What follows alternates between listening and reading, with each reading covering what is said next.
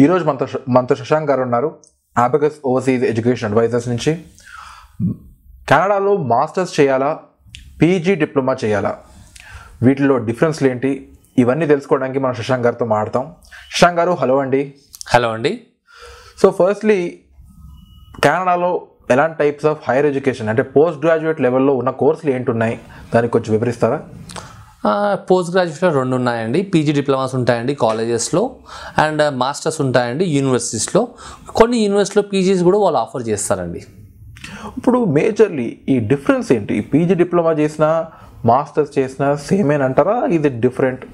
Absolutely both are completely different అండి.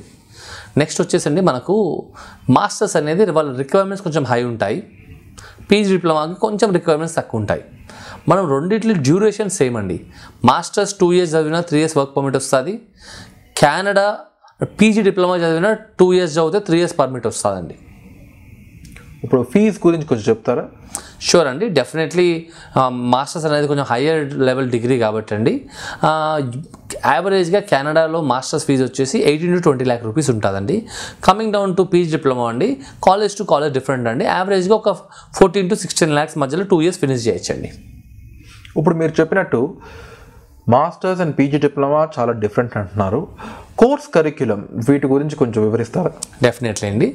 ఇక్కడ BTech or bachelors like bachelors or degree అయిపోయిన పిల్లలు ఈ నెక్స్ట్ పీజీకి వెళ్ళొచ్చండి. వాళ్ళకి ఎటువంటి ప్రాబ్లం లేదు. వీజా ఆఫీసర్కి ఎటువంటి ప్రాబ్లం లేదు మీరు పీజీకి వెళ్ళడం వల్ల. వీజా ఆఫీసర్స్ వీజాలు ఇష్యూ చేస్తారండి. మనం వెళ్ళేది నెక్స్ట్ లెవెల్ ఆఫ్ ఎడ్యుకేషన్కి వెళ్తున్నామండి. బట్ ఒక సింగిల్ సబ్జెక్ట్ పైన లెట్స్ థింక్ ఐటీ ప్రోగ్రామర్ ఈ ఒక సింగిల్ సబ్జెక్ట్ పైన టూ ఇయర్స్ అంటే ఫోర్ సెమిస్టర్స్ త్రీ సెమిస్టర్స్ మీకు ఇంటెన్షి ఇంటెన్సివ్గా మీకు దానిపైన ట్రైన్ చేస్తారండి. అసైన్మెంట్స్ ఉంటాయి. కొంచెం మీకు దానిపైన రీసెర్చ్ బేస్డ్ వర్క్ ఉంటుంది. And last fourth semester most of the కాలేజ్లో కోఆప్ అని లేదా ఇంటర్న్షిప్ అని ఆప్షన్స్ ఉంటాయండి. అంటే ఒక సింగిల్ సబ్జెక్ట్ పైన మనని ఇండస్ట్రీకి జాబ్ చేయడానికి రెడీ చేస్తున్నారండి. కమింగ్ టు ద యూనివర్సిటీ అండి ఇక్కడ మాస్టర్స్ కొంచెం పీజీ డిప్లొమా కన్నా కొంచెం టఫ్ ఉంటుందండి. Student need to work hard definitely ఒక better level of next level of education అండి. ఇక్కడ అసైన్మెంట్స్ ఎక్కువ ఉంటాయి ప్రాజెక్ట్స్ ఎక్కువ ఉంటాయి లాట్ ఆఫ్ హ్యాజల్స్ ఉంటాయి. లైక్ స్టూడెంట్స్ కొంచెం హార్డ్ వర్క్ చేస్తేనే డెఫినెట్లీ వాళ్ళు పాస్ అవుట్ అయ్యి బయటకు వస్తారండి. ఇప్పుడు మామూలుగా ఇండియాలో three years degree BCom BBA ఇట్లాంటివి చదువుకొని వెళ్ళిన వాళ్ళు వాళ్ళు మాస్టర్స్ కోసం ఎలిజిబుల్ అయినా ఎస్ అండి. Most of the Canadian universities sixteen years education అడుగుతాయండి. But there are around ten universities whose accepting still three years degree అండి. ఫిఫ్టీన్ ఇయర్స్ ఎడ్యుకేషన్ వీళ్ళు తీసుకుంటున్నారండి. మామూలుగా ఇప్పుడు మీరు చెప్పిన దాన్ని బట్టి జాబ్ ప్రాస్పెక్ట్స్ ఎలా ఉంటాయి? ఈ వీటికి పీజీ డిప్లొమాకి కానీ మాస్టర్స్కి కానీ? డెఫినెట్లీ అండి. ఇప్పుడు మేము చెప్పినట్టు మోస్ట్ ఆఫ్ ద కెనడా వచ్చేసండి టెక్నికల్ డిప్లొమా మార్కెట్ అండి.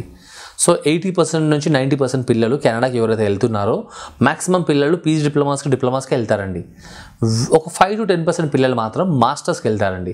ఈ మాస్టర్స్కి వెళ్ళాలంటే అండి మినిమం ఒక seventy to seventy five percent మనకు ప్రొఫైల్ ఉండాలి అండర్ గ్రాడ్లో like అకాడమిక్స్లో. Minimum six point five to seven IELTS no band less than six score ఉండాలండి. అండ్ ఇంకొంచెం ఎక్స్ట్రా కల్కులర్ యాక్టివిటీస్ ఇవన్నీ ఉండాలండి. And coming down to PG diploma అండి ఒక all six score ఉండి లేదా six point five noble less six ఉండి ఒక సిక్స్టీ పర్సెంట్ ఉంటే సరిపోద్దండి. ఈ ఇద్దరికి జాబ్ మార్కెట్లో ఎంటర్ అయిన తర్వాత సేమ్ సేమ్ జాబ్ ఉంటుందండి. ఇద్దరు సేమ్ జాబ్ మార్కెట్కి వెళ్ళాలి సేమ్ జాబ్స్కి వెళ్తారు సేమ్ శాలరీ వస్తుంది. బట్ డెఫినెట్లీ అండి ఒక కంపెనీకి వెళ్ళినప్పుడు ఒక హైయర్ డిగ్రీని డెఫినెట్లీ ఈ మనం హైర్ చేసుకున్న వాళ్ళు చూస్ చేయొచ్చండి. అలా అని చెప్పేసి మాస్టర్స్ చదివాలి పీజీ మంచిది కదా అని చెప్పట్లేదండి. పీజీ చదివి నీకు వెళ్ళిన జాబ్ పైన కంప్లీట్లీ స్కిల్ ఉంటే ఫర్ సపోజ్ ఒక బ్యాంక్ని మనం ఉదా ఉదాహరణగా తీసుకుందాం. ఒక ఐటీ ప్రొఫెస్ సారీ ఒక ఎంబీఏ చదివిన అతను జాబ్కి వచ్చాడు ఒక PG diploma in banking or finance చదివిన వాడు జాబ్కి వచ్చాడు సో మనం అనుకోవచ్చు ఎంబీఏ వాళ్ళని హైర్ చేస్తారని. అది తప్పండి. If MBA guy smarter than him అండి ఎంబీఏ వాళ్ళని హైర్ చేస్తారు ఇతను రిజెక్ట్ చేస్తారు.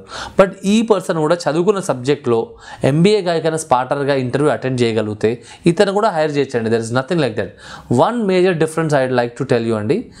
మాస్టర్స్ చదివితే థర్టీ పాయింట్స్ ఎక్స్పర్సెంట్రీకి వస్తాయండి. పీజీ డిప్లొమా చదివితే one or two PG diplomas చదివితే ఫిఫ్టీన్ పాయింట్స్ వస్తాయండి. That is the major difference అండి. సో ఫైనల్గా మీరు మాస్టర్స్ గురించి పీజీ డిప్లొమా గురించి డిఫరెన్సెస్ మాకు చెప్పారు. మీరైతే పిల్లల్ని ఏది అడ్వైస్ చేస్తారు? డెఫినెట్లీ అండి. సో రెండిట్లో దేనికి వెళ్ళినా అండి సేమ్ వర్క్ పర్మిట్ వస్తుంది. ఆల్మోస్ట్ ఆల్ సేమ్ జాబ్ వస్తుంది మన టాలెంట్ని బట్టి.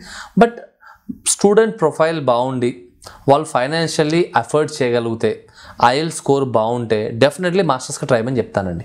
ఒక సెవెంటీ ఫైవ్ పర్సెంటేజ్ ఉండి ఒక సిక్స్టీ సిక్స్టీ ఫైవ్ పర్సెంటేజ్ ఉండి ఒక బడ్జెట్ ఫిఫ్టీన్ సిక్స్టీన్ ల్యాక్స్ ఉంటే ఇలా మాస్టర్స్ ఎలాగో వాళ్ళకి అంత పర్సెంటేజ్ లేదు కాబట్టి రిజెక్ట్ అవుతుందండి సో డెఫినెట్లీ పీజీకి వెళ్ళినా ఎటువంటి ప్రాబ్లం లేదండి. ఇప్పుడు కెనడాలో ఉన్న వాళ్ళు మోస్ట్ ఆఫ్ ది మన Indians eighty to ninety percent PG డిప్లొమాలు చదివి జాబ్స్ తెచ్చుకొని పిఆర్స్ తెచ్చుకొని ఎటువంటి ప్రాబ్లం లేదండి. ఈ పీజీ డిప్లొమాని మనం ఇండియాకి వస్తే ఏం చేయొచ్చు? మనం యూఎస్తో కంపేర్ చేయొద్దండి. మనము కెనడాలో వెళ్ళేదే ఈజీ సెటిల్మెంట్ అని చెప్పి మనం అందరం చాలామంది వెళ్తున్నామండి. సో ఎలాగైనా మీరు ఈ కోర్స్ ఫినిష్ చేస్తే మ్యాక్సిమం బేసిక్ లెవెల్ జాబ్ తెచ్చుకొని మనం బేసిక్ ఇంగ్లీష్ తెచ్చుకున్నా మనకు ఖచ్చితంగా పిఆర్ వస్తుందండి.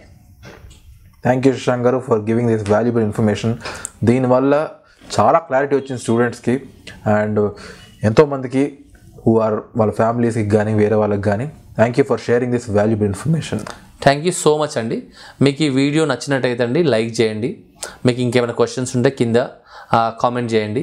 మీ వీడియో మీకు నచ్చినట్టయితే అండి kindly subscribe to our Abacus channel thank you so much